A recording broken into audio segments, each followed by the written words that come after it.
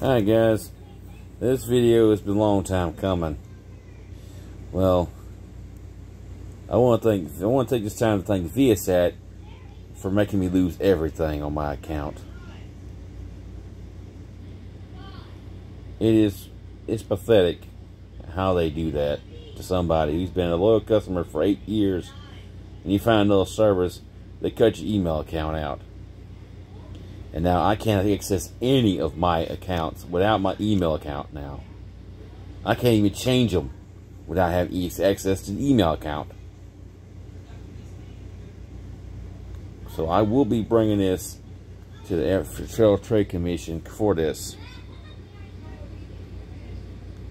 Because this ain't right. I tried to get my password, everything recovered from Apple. And they said they couldn't do it.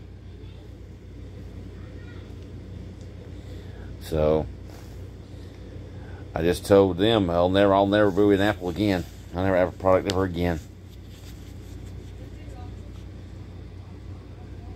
That's I don't have an Apple product anyway.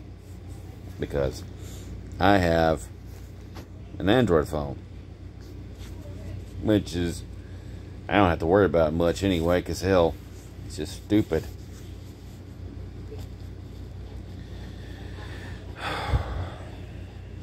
Well, I lost everything now. Thanks to Viasat. And I hope anybody who has Viasat knows not to have an email account with them. If you had a WildBlue account, don't never have it again. Get rid of get rid of it. Thank you for watching.